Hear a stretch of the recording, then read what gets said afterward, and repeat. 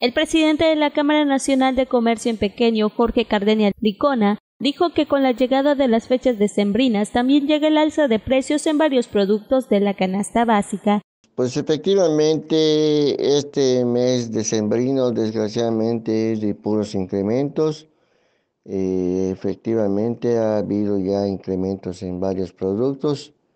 Entre ellos pues ya se habla de una alza al pan francés, entre otras cosas, pues sí ha habido también incrementos en algún otro tipo de, de comestibles. En este caso, pues se habla también de que va a haber una alza en lo que son algunos productos básicos, aparte de los que ya habíamos mencionado, que es el frijol, el arroz, el azúcar.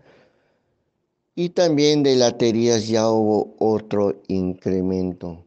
En cuanto a los productos que se utilizan para las fiestas navideñas como el pavo o algunos enlatados, ya se registra el incremento de alrededor de un 10% en algunos productos, mientras que en otros hasta de un 25%, según informó el pequeño empresario. Antes del cierre de este mes va a haber esta alza, entre ellos ya se habla de que ya va a subir también lo que es, es el precio de los pavos, ya están subiendo los famosos pavos y lo que siguió subiendo desmesuradamente es la piña en almíbar, el cóctel de frutas, que antes que conseguías en 35, 40, ahorita no baja de 45, 50 pesos.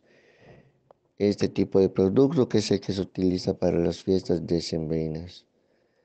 Posteriormente hay otro tipo de productos que es, por ejemplo, la almendra, que ha subido casi como un 30% de caro que pues es demasiado. Carderia Licona dijo que es necesario estar pendiente que los comercios tengan sus precios a la vista y en cuanto a los productos a granel verificar que sean kilos de kilo, de lo contrario dar a conocer estas anomalías a las instancias correspondientes. Notivisión